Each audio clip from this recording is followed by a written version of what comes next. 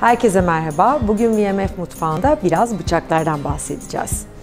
Önümde farklı serilerden farklı tarzda bıçaklar var.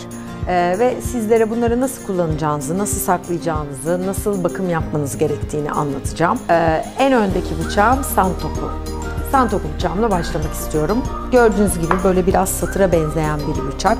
Aslında e, Çin e, sebze satırından esinlenerek Japonların ürettiği alternatif bir bıçak. Bununla böyle biraz daha e, hızlı ve biraz daha nasıl derler rock diyorlar yani kaya tarzında kesimler yapabiliyoruz.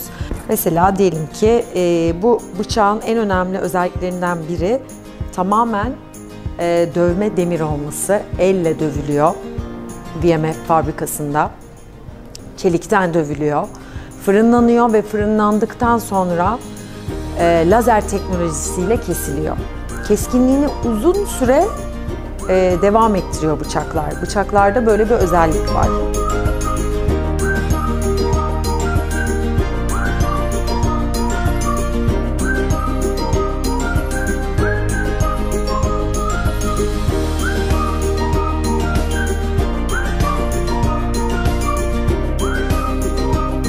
Mutlaka buradan tutuyoruz.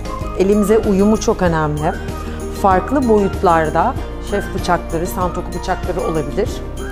Dolayısıyla e, bıçağın ağırlığı, elimize uyumu, bizim onunla bütünleşmemiz çok önemli. Ancak öyle elinizi kesmezsiniz. Yani böyle elinizde eğreti duran, rahat edemediğiniz bir bıçakla elinizi kesme riskiniz daha yüksektir.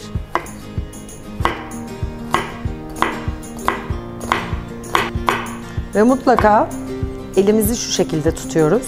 Parmaklarımızı koruyoruz.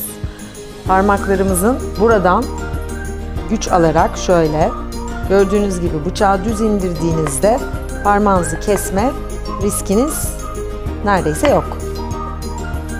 Yine bazen tabii ki bazı ürünlerde kayabilir. Çok dikkat etmek gerekiyor.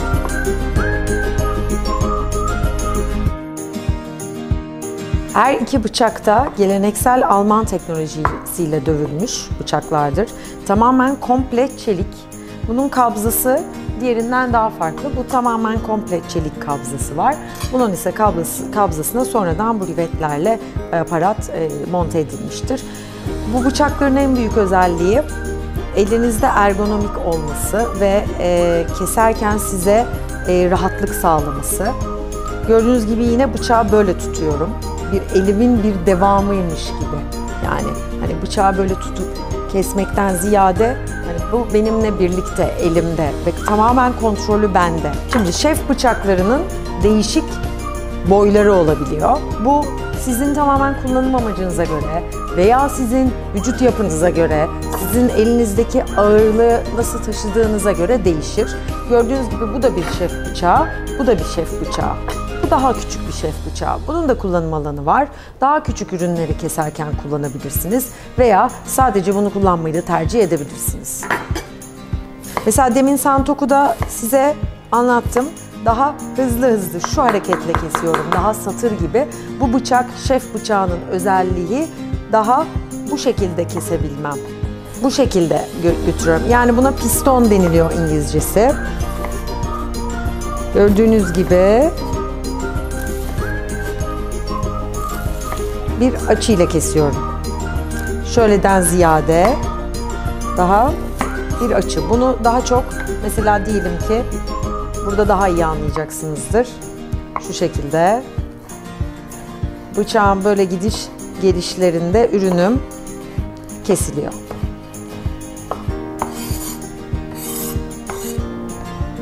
Şef bıçağının kullanım alanları geniş. Her e, üründe kullanabilirsiniz tabii ki. Mesela slicing bıçağımız var, onunla devam edeceğim. Ama bir şef bıçağıyla da tabii ki slicing yapabilirsiniz. Et gibi ürünleri, balık gibi ürünler için daha uzun fileta bıçaklarına ihtiyacımız oluyor. Şimdi slicing bıçağıyla yani dilimleme bıçağıyla devam etmek istiyorum. Sizin için bir bonfile dilimleyeceğim. Yine elime gördüğünüz üzere bıçak elimde.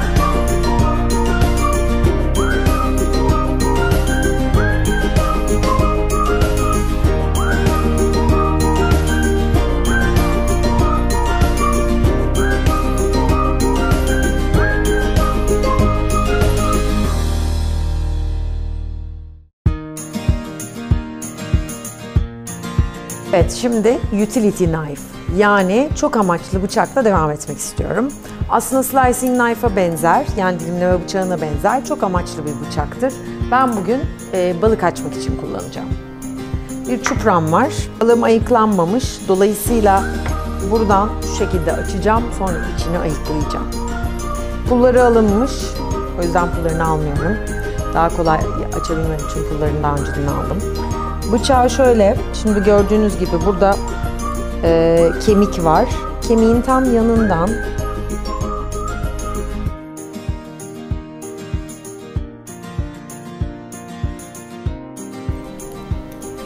elimize dikkat ederek içerideki kemiği takip ederek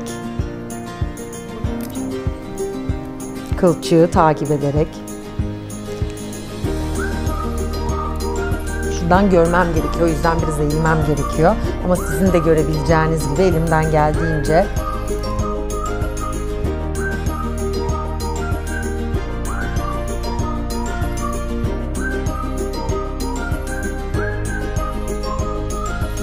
Gördüğünüz gibi çok keskin bıçağım ve her hamlede yavaşça kemiği takip ederek devam ediyor. Ama aynı zamanda balığın da parçalanmaması için her girişime dikkat ediyorum.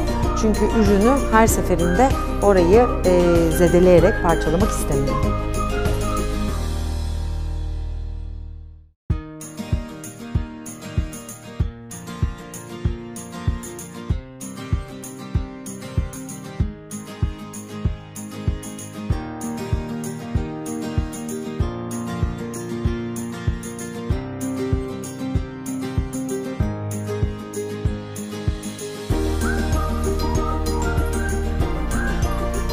Gördüğünüz gibi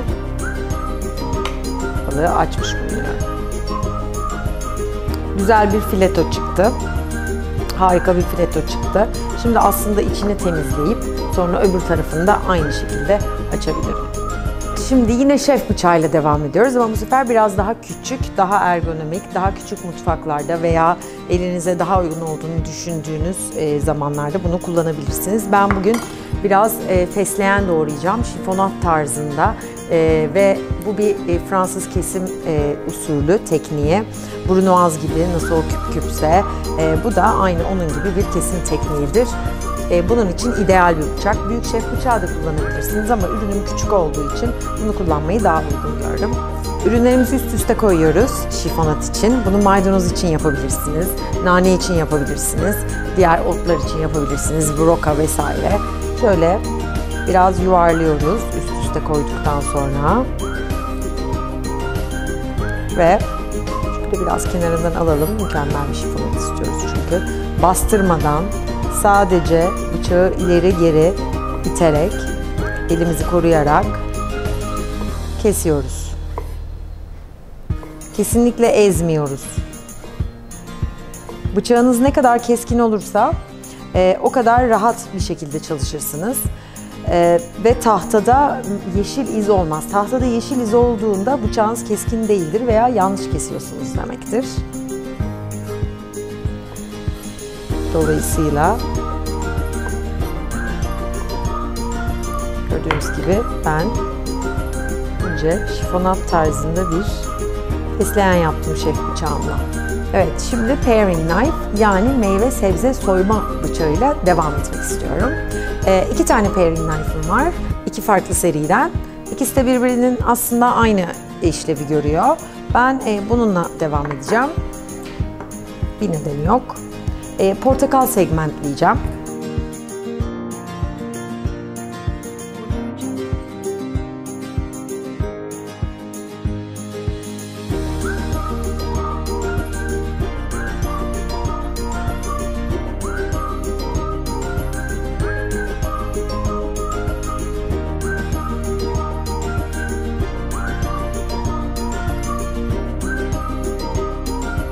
Portakalın kabuğunu soydum. Şimdi segmentleyeceğim.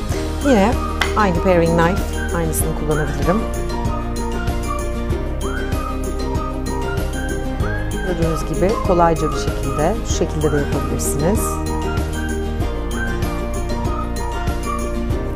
Aynı şekilde. bu tarz işler için bu bıçağı kullanabilirsiniz. Bugün VMF'in farklı bıçaklarını kullandık.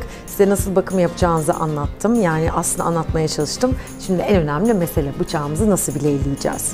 Bu çok sorulan bir soru. Ne kadar sürede bir bileylememiz gerekiyor? Aslında biz profesyonel mutfaklarda her kullanım öncesi bıçağımızı bileyliyoruz. Her gün bileyliyoruz diyebiliriz. Ama siz bunu bir rutine sokarak nasıl evinizde, mutfağınızda, başka işte tencerelerinize bakım yaptığınız gibi bıçaklarınıza da bakım yapmayı bir alışkanlık haline getirebilirsiniz. Bunu masatla yapabilirsiniz. Çok önermesek de eğer yapamıyorsanız veya korkuyorsanız bileyle de yapabilirsiniz. İki ürün de VMF'de mevcut. E, masat tabii ki çok daha e, performanslı bir alet. E, bıçaklarımızda biliyorsunuz performans kat teknolojisi var. E, keskinliklerini uzun süre koruyorlar ama pek tabii ki her şey gibi onlar da yıpranabiliyor, keskinliğini kaybedebiliyor. Böyle olduğu zaman bıçağımızı böyle elimize alıp elimizi böyle güzelce koruyarak ben solağım o yüzden size biraz ters gelebilir. Ee, güzel bir açıyla böyle bileyliyoruz. Bileğiniz yok, e, bileğiniz yoksa başka şekillerde de bıçağınızı bileyleyebilirsiniz ama e, bu aparatı kullanmanızı öneririm. Son olarak da bıçaklarımızı nasıl saklamamız gerekiyor? Biraz bahsettim ama aslında en pratik yolu en de yerden tasarruf eden böyle bloklar var. Bu bloklar VMF'de ayrıca satılıyor. E, bunu satın alıp içerisine istediğiniz bıçağı yerleştirebilirsiniz. Tabii ki diğer bloklarıyla satılan bıçaklar da var. Onları da tercih edebilirsiniz. Ama gördüğünüz gibi bıçağınızı e, yıkadıktan, süngerle yıkadıktan ve arkasından böyle iyice kuruladıktan sonra bu bloğun içerisine yerleştirerek saklayabilirsiniz. Hem mutfağınızda düzen sağlar hem de bütün bıçaklarınızı aynı yerde olmasını sağlar.